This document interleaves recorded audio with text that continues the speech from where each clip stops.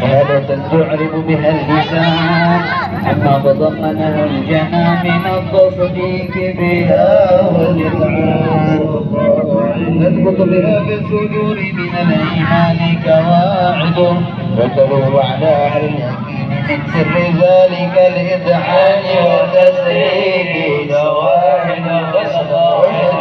سيدنا محمد العبد الصادق في قوله وفعله والمبلغ عن الله ما أمر بالتبليغ بخلقه من فرضه ونفله عنه أرسله الله للعالمين بشيرا ونظيرا فبلغ الرسالة وأدى الأمانة وهدى الله به من الأمة بشرا بشيرا صلى الله في ظلمة الجهل للمستبصرين سراجا وقمرا منيرا.